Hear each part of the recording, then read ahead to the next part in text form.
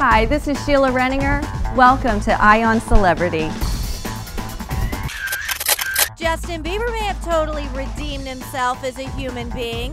The Biebs put on a shirt and in an amazing display of humanitarianism at a celebrity gala in Cannes, dropped $545,000 for charity. Justin, dressed to the nines in a double-breasted suit, hit up the amfAR Gala, which raises money for AIDS research. One gentleman pledged $545,000 and Justin quietly and without fanfare matched it. The crowd also included Leonardo DiCaprio, Heidi Klum, John Travolta, and Sharon Stone, all of whom were stunned by Justin's gesture. Justin was even approached and asked if he really wanted to pledge that much, and he said yes. When asked why, Justin said he just felt inspired to do something good. So let's hope that continues.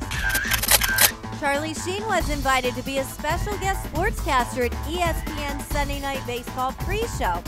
And Charlie proudly accepted, considering his favorite team, the Reds, were playing.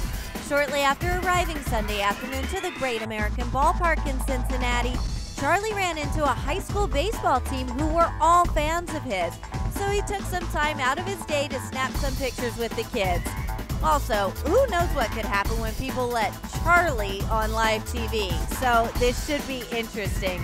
It's nice to see Charlie taking some time out of his busy schedule, full of celebrity feuds and wild rants, to do something nice.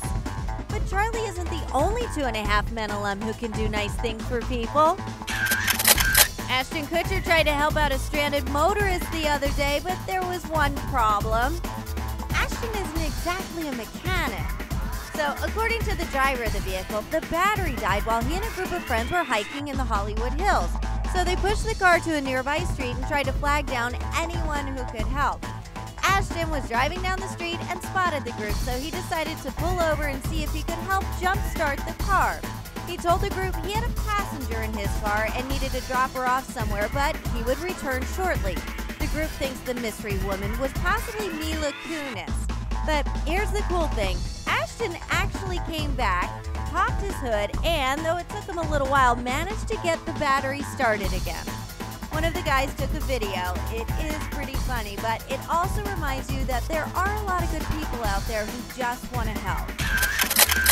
And finally, finally, Kim Kardashian and Kanye West are now husband and wife.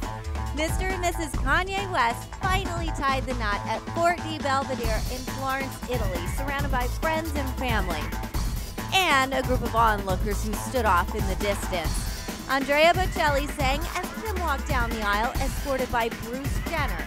All the guests were reportedly required to sign a confidentiality agreement. Kim and Kanye started dating in 2012, and Yeezy proposed the following year. This is Kanye's first marriage, Kim's third. So let's hope this one lasts longer than three days. Am I right? And that's it for today's celebrity news. See you next time.